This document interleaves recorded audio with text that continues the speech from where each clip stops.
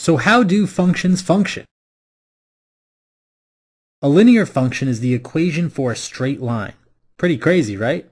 How a bunch of numbers and letters can represent a line? But it's true. Every line on a graph, even the one on the board, has a unique equation. The standard form which we write the function of a line is y equals ax plus b.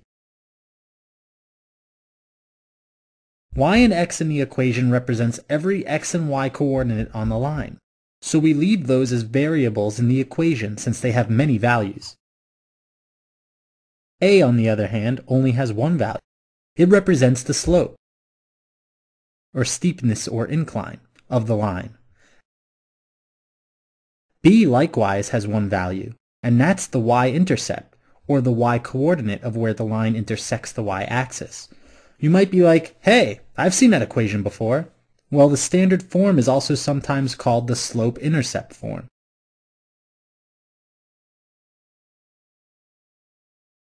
Okay, let's talk slopes now. You can determine a few things about the slope of a line without doing any calculations at all. Just by looking at it. If it's going up, that tells you it's a positive number. The steeper it is, the higher the positive number is.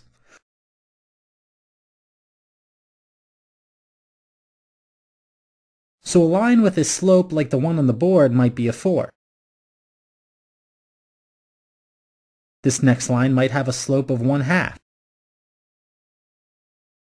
And if it's going downwards, then we know it's a negative slope. Similarly, the more steeply it's going down, the lower the number is.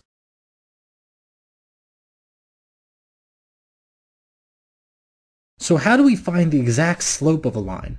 You can do it if you know any two points of the line. Here's the equation for slope given two points. You subtract the y-coordinates and put it on top, and then subtract the x-coordinates and put that on the bottom. Or one way to think about it is rise over run.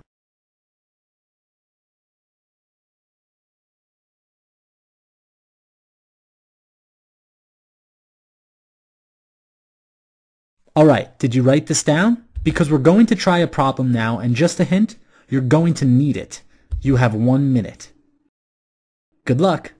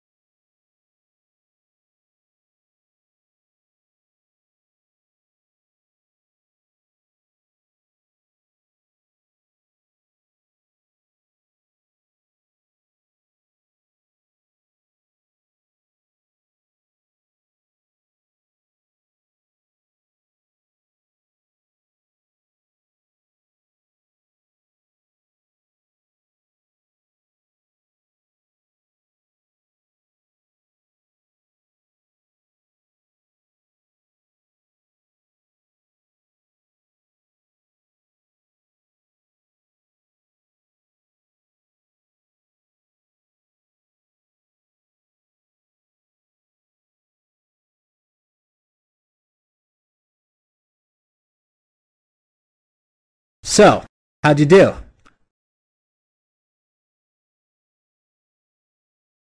This question is a classic slope question. As long as you know your slope formula, it shouldn't be too difficult to solve. Alright, so remember our slope formula is slope equals y2 minus y1 over x2 minus x1.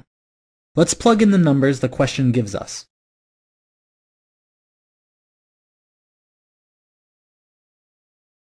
We know the slope is 1 sixth, y for y2, 1 third for y1, 6 for x2, and 0 for x1. Now multiply both sides by 6 to get rid of the fraction. You get 6 equals 6y minus 2. Then do the math and get y equals 4 over 3.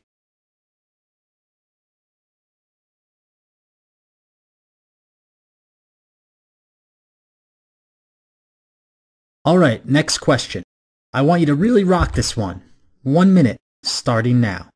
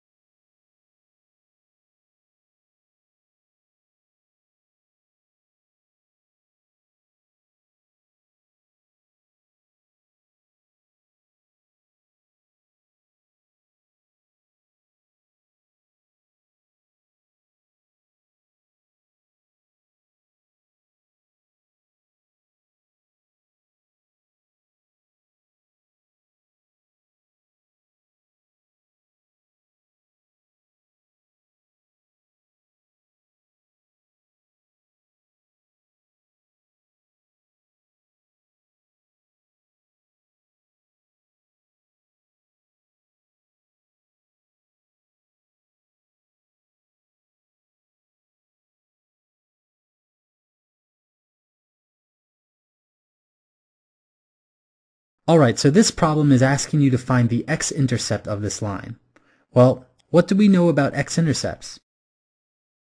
It's where the line hits the x-axis, meaning at that point the y-coordinate equals 0. So let's take our original equation for the line and plug in 0 for y. From here, just solve it out until we get that, x equals 2.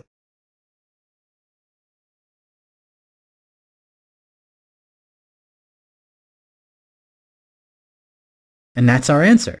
The x value is 2 at the x-intercept.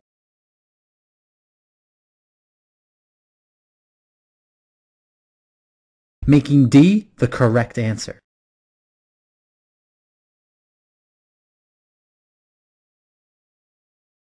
Before we wrap up linear functions, here are some other fun facts. Fact 1. A horizontal line has a slope of 0. This is always the case.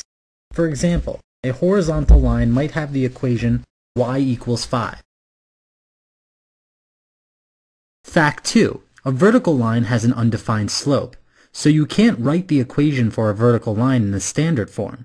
Instead, the equation looks like x equals constant. So an example of a vertical line would be x equals 4 or x equals 7. Fact 3. Parallel lines always have the same slope. Fact 4. Perpendicular lines have negative reciprocal slopes, meaning if one line has the slope of 2, then the perpendicular line would have a slope of negative 1 half.